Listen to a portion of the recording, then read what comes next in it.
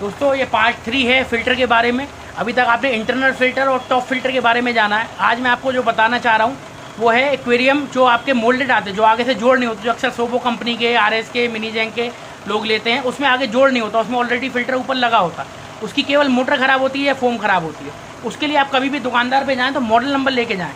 देखिए, ये आता है जैसे आर थ्री पाँच सौ अस्सी आर थ्री पाँच सौ अस्सी ये फ़िल्टर आपका मिनी जैंग के दो फुट तक के एक्वेरियम में बड़े आराम से लग जाता है, कि कुछ मोटर लग जाती है, मोटर आता है, नीचे का पाइप आता है, सब चीज़ें इससे अगर छोटा एक्वेरियम हो आपका तो उसमें ये आर थ्री तीन सौ अस्सी लगता है। आर थ्री तीन सौ अस्सी। अगर चार फुट का एक्वेरियम होता है, मिनी जैंग का पाँच फुट का होता है तो उसमें ये मॉडल लगता है आर थ्री वन थाउज़ेंड इन सब में बेसिक फ़र्क क्या है? सबकी मोटर हैवी हैं। जैसे आर थ्री तीन सौ अस्सी की अगर मोटर उठाएँगे ये तो ये आर थ्री तीन सौ अस्सी की मोटर जो है, ये दस वॉट की है। इसमें दिख नहीं रहा होगा, बहुत बारीक लिखा है। पाँच सौ अस्सी की लेंगे तो चौदह वॉट की है और एक हज़ार नंबर की ये लेंगे तो ये पंद्रह वॉट की है। अक्सर लोग सोबो के एक्वेरियम लेते हैं, दो फुट, ढाई फुट के, जो आजकल बहुत कॉमन है। उसमें सबसे छोटा एक्वेरियम जो आता है, उसके लिए मॉडल नंबर आएगा ये वन ये देखिए आप वन इसके खाँचे अलग होते हैं, इसके खांचे अलग होते हैं। तो आप समझिएगा बेसिक इफ़ेक्ट क्या है। लोग कहते हैं, अरे, वो मोल्डेड वाला एक्वेरियम है फ़िल्टर अरे, कोई भी लग जाएगा। ऐसा नहीं होता सर इसका खाँचा ऊपर जो बना हुआ है नोजल अलग मोड़ने की है। इसका जो होता है, ये चैम्बर अलग लगाने का होता है, ये देखिए। वन, ये दो फुट तक के एक्वेरियम के लिए आपके लिए बहुत बढ़िया फ़िल्टर है।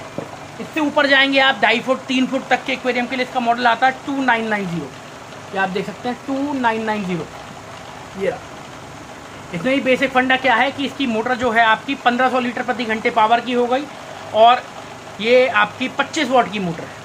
तो ये आपका ढाई फुट, तीन फुट तक में बड़े आराम से लग जाता है। ये मार्केट में इजीली अवेलेबल होते हैं। आपके मोटर के ऊपर भी लिखा होगा ये T eighty T hundred model number आते हैं एक्वेरियम के, उनके अंदर लगाया जाता है। उससे ऊपर जाएँगे चार फुट पाँच फुट पाँच फुट तक के एक्वेरियम के लिए लगता है W P three nine nine zero W P three इसका जो बेसिक इफ़ेक्ट है, ये पैंतीस वॉट की मोटर हो जाती है और अट्ठाईस सौ लीटर घंटे घंटे की पावर हो जाती है। इसका भी मोटिव यही है कि ये मोटर ऐसे लग जाएगी, ऊपर फोम लगाई जाती है। फोम से आपका एक्वेरियम साफ़ होता रहता है। इसको हफ़्ते हफ़्ते साफ़ करते रहें। मॉडल को ध्यान रखें तो आपको ख़रीदने में आसानी रहेगी। आसानी ईजिली फिट होता है। कभी मैं एक वीडियो में बना के आपको दिखाऊँगा किस तरीके से वो एक्वेरियम में फिट होता है। ये पार्ट थ्री खत्म हो गया। पार्ट फोर में आपको दिखाऊँगा कि फ़िल्टर कैसे पानी के अंदर डुबो के लगाते हैं और पानी साइफिन पाइप से कैसे साफ़ कर सकते हैं।